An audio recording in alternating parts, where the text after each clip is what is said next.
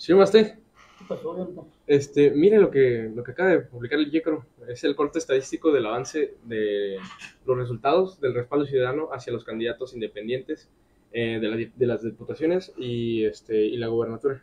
Sí, por cierto, ayer fue el último día y ya están publicando, por lo visto, las cifras finales Así es. del respaldo ciudadano que obtuvieron los que querían ser candidatos independientes. Mira, aquí vemos la- las cifras, Jonathan. Sí, este, en el caso de los aspirantes a diputaciones, eh, León Humberto Hernández Ochoa, del Distrito 2, logró eh, 951 eh, votos, por así decirlo, eh, es decir, el 48.10% de los 1936 vo- votos que requería para poder participar. O sea, le faltó un- una rana de cal, una rana, un pelo de rana calva para que lograra el 50%. ¿eh? Ajá, o sea, que no le faltó más de la 50. mitad para, No, para poder participar. 51.90% exactamente. Así es. En el caso de Manuel Salvador Pérez, eh, a la vez, del Distrito 14 consiguió 3.000 votos. Eh, lo, que, o sea, lo que se... Necesitaba. Ajá.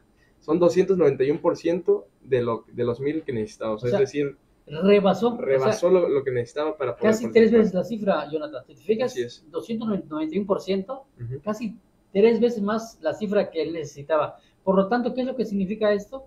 Que él sí tiene derecho a competir en las próximas elecciones del 5 de junio. Caso contrario del León Humberto, que él se, sí se queda descartado totalmente. Que Bueno, vaya, Bueno, como dice aquí, estas cifras son únicamente de carácter informativo y será el Consejo General del Instituto Electoral de Quintana Roo, a través del acuerdo de, de declaratoria de candidaturas independientes, quien en su momento se pronuncie sobre los resultados finales y definitivos del respaldo ciudadano recabado por cada aspirante. O sea que todavía es este como los preliminares, por así decirlo. es, es por decir, son las cifras finales, porque aquí dice que ya está el corte a las 15 horas, aquí dice que no hay ningún, ningún voto en la mesa que se esté contabilizando, ya está completamente en cero, aquí dice números de apoyo ciudadanos en mesa de control, ya no hay nada. ¿Por qué? Porque ayer se cerró el apoyo. Entonces, lo que significa que el corte a las 15 horas que fue terminaron de contabilizar los votos, Ujú. estos son las cifras reales. Solamente falta que lo hagan oficial y les informen a estos cuates. ¿Sabes qué? León Humberto Hernández Ochoa sigue, sigue participando porque tú ya quedaste fuera, ¿no? Sí, En tanto, Manuel Salve- Salvador Pérez a la vez, Él él sí. sí. va a participar. así es. Y hay otro, ¿no? El de los gobernadores, que es el más interesante. El de los gobernadores aquí. Aquí Aspirantes. está.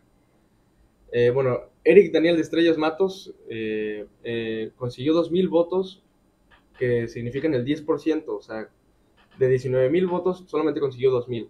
O sea, no, ni siquiera alcanzó el 50%. No, que muy lejos, Jonathan. Muy, muy lejos. Muy lejos. Y él prometió que iba a conseguir 50 mil firmas en- cuando se presentó el pasado principio de enero. Dijo, yo voy a conseguir 50 mil firmas porque yo fui candidato a la presidencia municipal de Benito Juárez y Ujú. conozco la geografía quintanarroense. Y shalala, shalala, shalala. Hoy resulta que solamente consiguió 2.104 votos exactamente, que es- viene siendo el, el porcentaje 10%. Ujú. Y quedó muy, muy, muy, Muy, muy lejos. lejos, muy sí. lejos. Y bueno, José Francisco Ayala Castro, que es más conocido como Paco Ayala, eh, consiguió 3.950 firmas de las 19.562, es decir, el 20%. Entonces, él de igual manera quedó un poco lejos de lo, bueno, más bien muy lejos, Muy lejos. muy lejos de lo que debería de, de este, de haber conseguido. Eh, pues no sé cómo usted lo ve, señor Masté. No, pues lamentable, ¿no? Lamentable de que eh, estas cifras, yo pensé que al menos iban a conseguir el 50%. Paco ya le dijo que iba a conseguir 40 mil Sí, firmas. eh, 40,000 ambos prometieron cosas, pero pues No tuvieron el respaldo. no, no ciudadano. tuvieron el O sea, quiere decir que a los dos candidatos o los dos aspirantes a candidaturas, los Bateados. bateados. Ya, por lo tanto, ya no va a haber candidatos independientes. En el caso de las gubernaturas, exactamente. Y para diputados, Solamente uno. uno. de 15 distritos, solamente, bueno, dos que participaron, uno Solamente solamente. uno, exactamente.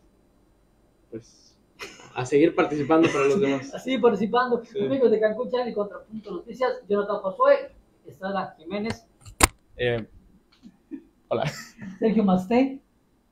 Síganos en nuestras transmisiones y esté muy atento de lo que acontece en el proceso electoral 2022. Nosotros, hasta una próxima entrega. Hasta luego. Seguir checando. Pues sí.